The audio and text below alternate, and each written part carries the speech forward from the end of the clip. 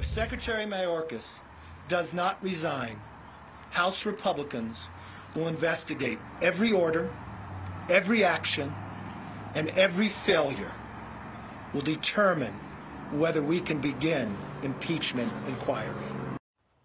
That was House Minority Leader Kevin McCarthy making his message to the administration pretty clear during his visit to the Texas border. Now the Department of Homeland Security is responding saying, quote, members of Congress can do better than point fingers at someone else. They should come to the table and work on solutions for our broken system and outdated laws, which have not been overhauled in over 40 years. Here to react, Tom Homan, Fox News contributor, retired acting ICE director. Tom, so the Republicans are making their red line very clear, and they want to host uh, uh, meetings at the border, sessions at the border to make this a big issue. Do you think it's going to work? Well, I think the oversight hearings will definitely work. And look, guys like me who's been around for 35 years, we will tell them who to subpoena, what information you want uh, requested in that subpoena, and where you can find that information. Because when they do oversight hearings, there's going to be a lot of damning information that comes out that's going to put Mayorkas in a very bad spot and it's going to force him to resign.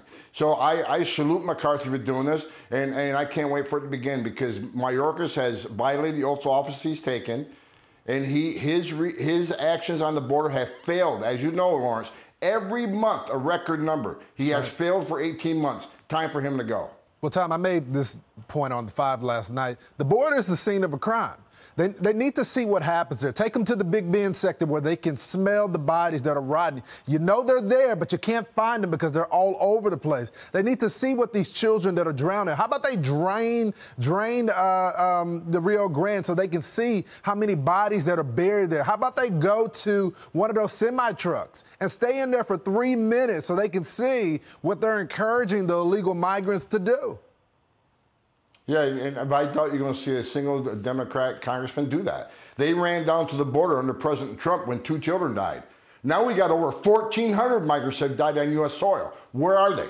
Where's, where's Congressman Castro? Where's uh, Congresswoman AOC, who went down there screaming on the Trump administration? They're ignoring the clear data. And if you look at the department statement they put out saying they're going to continue to support the workforce, Let's remember, he's not supporting the workforce. He took a federal law enforcement agency and turned them into a tourist agency because they're not enforcing law. They're processing people, releasing people, taking them to an airport and flying them to a city of their choice. And not only that, he stood at the White House podium and slandered the men and women of the Horse Patrol when he knew they were innocent.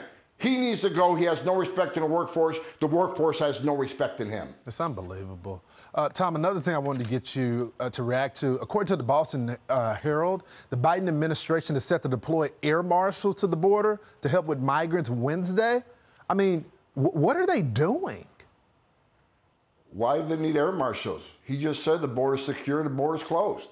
Why do you need more people down there? I'll tell you why they're sending more people down there to process quicker and release quicker because they don't want the optics of overcrowding. Because if they don't have overcrowding, there's not an issue. And Mayorkas can keep lying to the American people that the border is secure. He isn't sending one officer down there to enforce the law and secure the border. He's sending them there to process quicker, release quicker, so he can control the optics of this crisis. This is this is this is insulting to the American people. Again, needs to be impeached. I've called for it for over a year. I'm glad Congress has finally taken some action.